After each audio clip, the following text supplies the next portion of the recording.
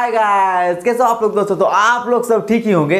तो आज हम बात करने वाले हैं जिस मूवी का अपडेट मैं लेके आया हूँ जिसकी ओटीटी राइट्स इतनी मैसिव अकाउंट में बिकी है ना, कि आप लोग सुन के एक बार मतलब बहुत चक्के हो जाएगी कि ओटीटी राइट्स को भी इतने में एक्वायर किया जा सकता है। तो हाँ मैं बात करने वाला हूँ प्रभास सर और पूजा हेगड़े की केमिस्ट्री में बनने वाली फ़िल्म राधे श्याम के बारे में, जिसकी अभी रिलीजिंग डेट ग्यारह मार्च को है। तो उससे पहले मैं आप लोगों को मैं ये कह दूँ कि उससे पहले कल की मैंने एक वीडियो बनाया था, जिसमें मैंने बताया था कि जो रवि तेजा की स्टारर में पैन इंडिया फ़िल्म पुरानी गई है खिलाड़ी, उसकी जो टी टी राइट से एक्वायर कर ली गई है और उसकी जो रिलीजिंग डेट है स्ट्रीमिंग डेट है, वो 11 मार्च को और एक डेट मैंने और कोई बताई थी तो उसमें से कल एक प्रोमो निकल के आया जिसमें साफ़ साफ़ पता चल रहा है कि 11 मार्च को वो अब स्ट्रीम होने वाली है हॉट पे, सभी लैंग्वेज पे ऐसा जहाँ तक न्यूज़ निकल के आ रहा है। और बात करूँ मैं राधे श्याम के ओ राइट्स को तो इससे एक्वायर किया है अमेजोन प्राइम ने, और आप लोग सुन के हैरान हो जाओगे यार अमेजोन प्राइम ने जो इसकी मतलब एक्वायर किया वन से वन सी आर इसे पे किया इतनी मैसिव अमाउंट में इसकी जो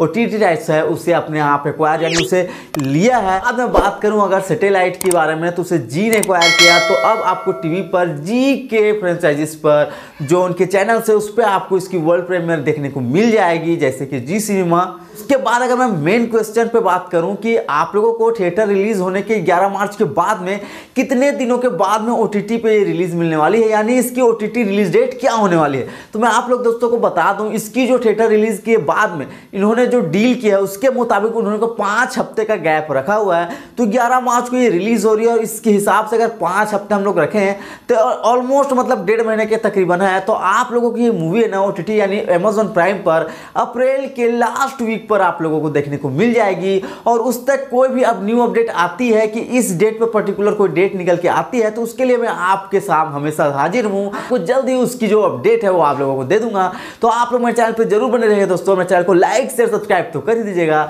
और बने मेरे चैनल दोस्तों में। थैंक यू बाय बाय धन्यवाद।